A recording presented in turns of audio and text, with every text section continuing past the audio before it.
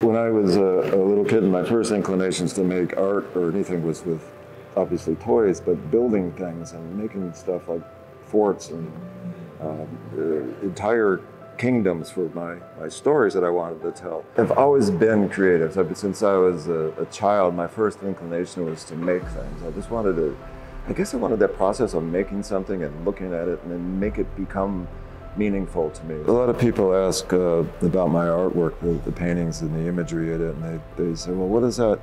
How does that reflect to your life? Or is that about you? Or are you telling a story about your life? And, and really, it's not like that. It's more like poetry. It, it's me putting together these elements to express what I feel about life and I feel about a particular theme or something. And I, I approach it, I think, the same way that maybe if you think of T.S. Eliot writing one of his poems and he, he doesn't go, well, I want to write about my day at the office. He's a clerk for a lot of years. And, you know, he, he wouldn't do that. He would start thinking about uh, this theme and it would be, he would, he would use uh, you know, Greek mythology as, as a way, as, as a metaphors for his topics, as an ideas, and, he, suddenly you have a 26 long poem called The Wasteland.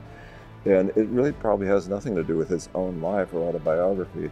And most of my artwork is like that. I always have a, like dozens of ideas going at one time. And sketchbook pages full of things, and I'm always working on different themes and, um, ideas that I sometimes one from four pages back in the sketchbook coalesces into another one on a different page and then I, I putting things together to make them um, interrelate to each other and and and kind of tell a story that way.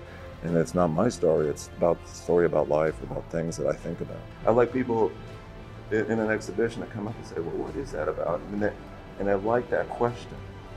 They, it's not obvious. It's also something that it looks like there's a meaning to it. There's something to it.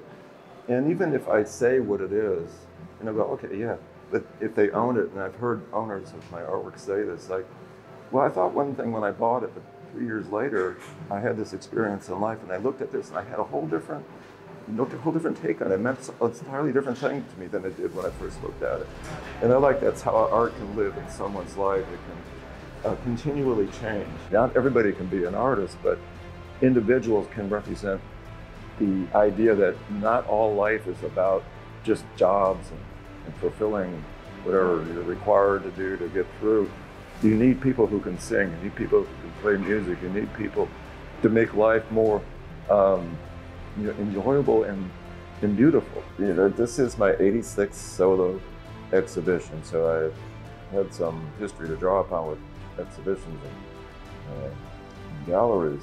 But what's nice about this space is that it has for instance, this whole long wall of windows, and people were coming in who were just looking in the window or, or saw the show last night or the night before. And, um, so that's an interesting and nice thing about that, but it's also, it's just a comfortable layout for a gallery. It's more like a lounge than it is like a box gallery you go in and you feel like you're, you're intimidated by the, the, the, reduced space. This is very comfortable. It's a lot of seating and, and it's nicely lit and everything and uh, room for a lot of paintings. So it's, uh, uh, it's, a, it's a great place to show.